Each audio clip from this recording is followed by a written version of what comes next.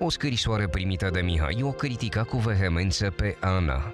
Bună, Mihai! Cum ești? Cum îți este sufletul? Oricum se vede că ești un băiat răbdător, dar asta nu înseamnă că trebuie să înghiți orice. Chiar dacă uneori te pierzi din cauza emoțiilor, mergi la persoana respectivă și îi spui exact ce ai vrut să spui. Analizează, Mihai. Te-ai aruncat în ceva fără să analizezi. Prea ușor ai trecut peste evenimentul de la petrecere când a plecat la somn. O cunoști destul să o crezi, nu te lăsa mânat de atracție. Tu simți că pleacă mereu de lângă tine la party, așa fără motiv? Sper că simți. Îți place? O găsești pe afară vorbind cu alții. Fii sincer cu tine. Ai simțit asta? Sau mergi spre ea și parcă are o barieră care te oprește? Simți acea barieră? E vorba de viitorul tău. Te rog să-ți mai răspunzi singur ție la o întrebare. Ți-a plăcut cum ai stat la încheierea petrecerii lângă ea în picioare și ea își continua conversația cu ceilalți? Cum te-ai simțit? Sau că abia s-a ridicat să te îmbrățișeze? Sau că nu te-a condus? A fost ok? Cred că e respectul pe care îl așteptai. Să-mi scuzi ironia. răspunde te rog, pe rând la toate. Mai sunt și altele, dar sper că vor fi arătate și că tu vei fi pe analiză. Sunt supărată pentru că știu că te pun într-o lumină proastă și eu nu mai vreau asta. Uh, tu ai ocazia să faci uh, să te cunoști și cu alte fete, ai înțeles? Okay. Mie îmi place de tine, dar nu simt tot să fac alt și tine și mă simt vinovată pentru lucrul ăsta. Dar nu trebuie să mă simt, eu sunt sinceră și de-aia am venit să zic, eu nu vreau să te pun pe tine într-o lumină proastă. Ok, dar calmează de. Dar nu că tot... Da.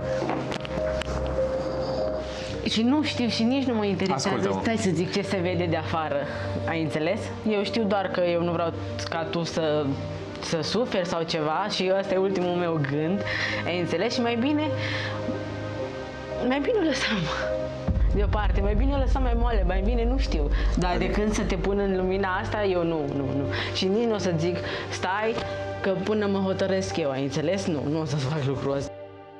Dar Mihai continua să facă analiză pe text în fața Anei, comentând unele gesturi. Scrie acolo în felul următor.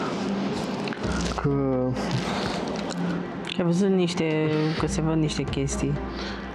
Că niște chestii pe care ei le-au uh, menționat acolo le-am văzut și eu oarecum, dar nu neapărat că m-au deranjat. Uh, Plecarea ta bruscă dintr-o dată de lângă mine Când? la petrecere. Era la două săptămâni, frate.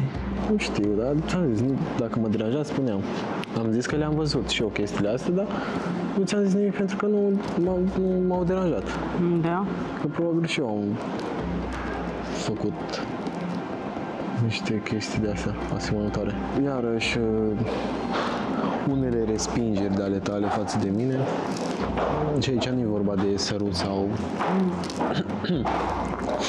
Oricum, dacă eu mă apropii de tine, mă apropiam de tine, mai mult se vedea ca și cum că mă respingi, știi? Și iarăși chestia cu somnul. Cu ce să... A, de atunci. Atunci cu somnul, da. Mult, mult se discută pe asta, eu n-am nevoie de așa ceva. Păi, îs ce, chemări. îs chestii ce s-au întâmplat. Eu știu, Mihai, dar nu... Îs chestii, chestii ce s-au întâmplat și Tocmai de aia am spus că nu-mi place lumina în care te-am pus. Ok, cum o zice și doamna Simona, eu sunt bărbat, sunt altceva, adică eu pot să trec peste anumite chestii mai ușor decât tine. Dar nu am făcut Și nu mi nimic. se pare... Păi tocmai, Wow. păi tocmai. Nu ți-am zis că m-a deranjat. Ți-am zis că am văzut și eu chestiile astea la tine, dar nu ți-am spus pentru că nu m-a deranjat. Plus de asta că suntem la început. Ei iarăși mi-au spus că Ieri? ei Ah. mi-au spus iarăși, nu știu cine mi-a scris, uh, că la început de relație trebuie să fie totul frumos, să, să zâmbești, să râzi, să glumești, să... Păi tocmai că de aia noi- ți-am spus, am spus ce am avut și de că spus. noi suntem opusul la fericire. Și mai ales faza care au zis că tu ai, ai intrat cu alt vibe. Eu nu vreau să scriu, să-ți schimbi starea în rău. Tocmai Măi. de aia zic. Și da, au dreptate faza asta. Uite, mă, mă uit la, la Stelian și la și la Raluca, e cu totul altceva. Cine? La Stelian și la Ramona. Adică ce e altceva? Păi nu vezi, uite-te la ei cum sunt. Eu am zis și nu mă oferesc. Am zis și ție. În fine, eu, într-adevăr, mi-am schimbat, într-adevăr, nu mai am același vibe pe care l-aveam la început. Dar nu vreau să La fii- început aveam un vibe așa mai...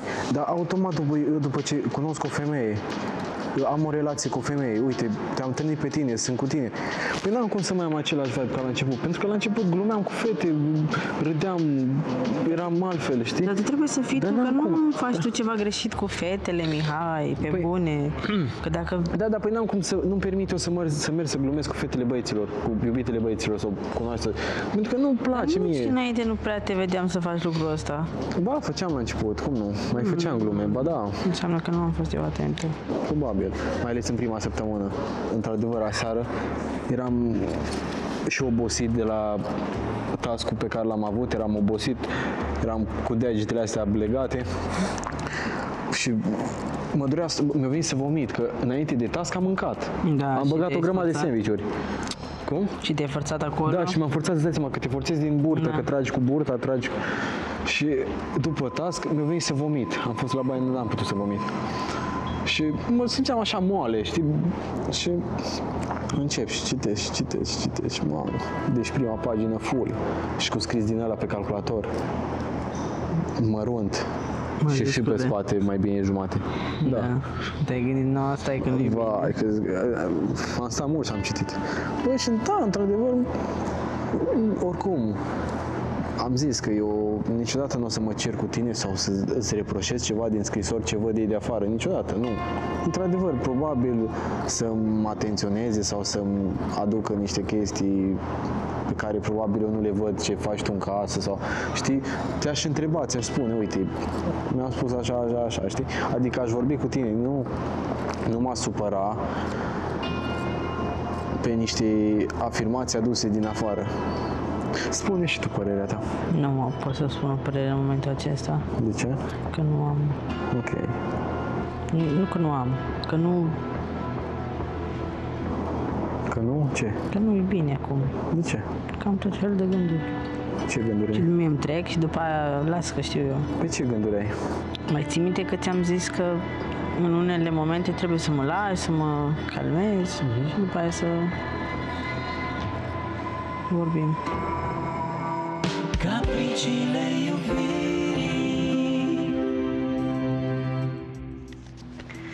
Ce ați pățit? Voi ce ați mai pățit? Ce problemă aveți? Că părea că totul e bine între voi. Este. Păi este, dar um, mie mi se pare că mai puțin l-a deranjat pe Mihai scrisoarea venită din afară și mai mult pe tine, Ana. Pe mine nu m-a deranjat, pe mine m-a deranjat postura în care este pus Mihai. Nu Și știu crezi că soarea. postura asta va arunca o lumină proastă și asupra ta? Nu. Până la urmă eu am fost sinceră. Dar cine l-a pus în postura asta pe Mihai? Păi eu, de-aia zic că nu... Eu că nu...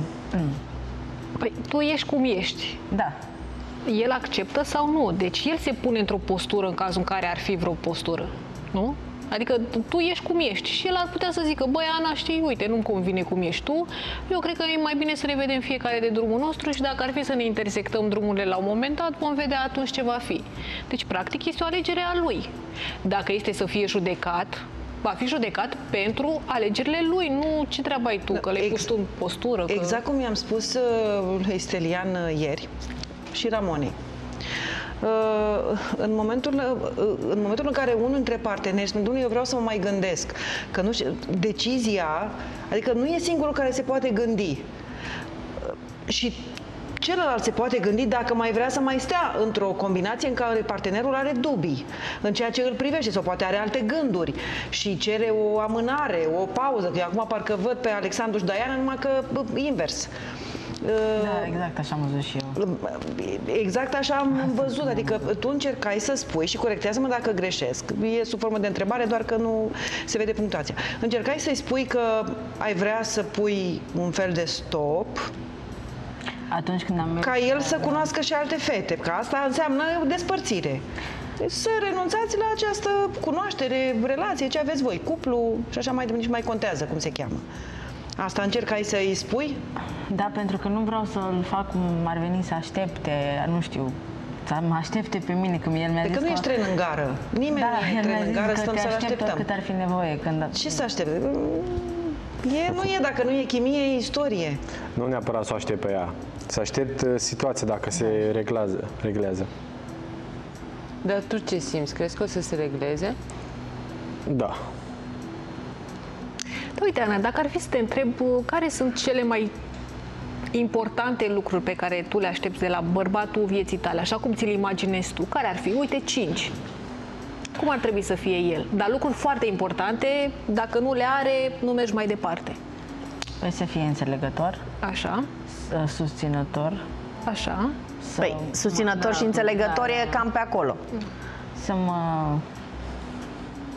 să mă iubească, să mă să, să mă respecte, bineînțeles, dar să, să creștem împreună. așa. Deci tu simți că ești compatibilă cu Mihai? Adică Da. găsești în el Da.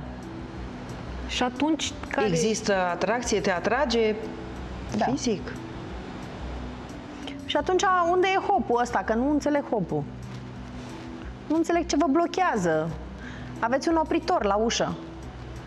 Băi, uneori sunt niște lucruri care poate sunt foarte subtile. Nu-ți place, pă, nu știu, mirosul persoanei de lângă. Bă, e, e posibil. E, crede Schimb deodorantul. Destule.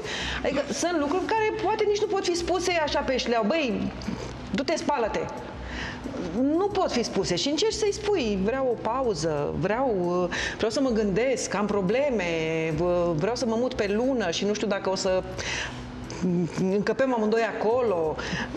Na, sunt lucruri și lucruri pe planeta asta și putem să înțelegem. Na. Există ceva ce te Dar nu oprește? înseamnă că e cazul de față, nu.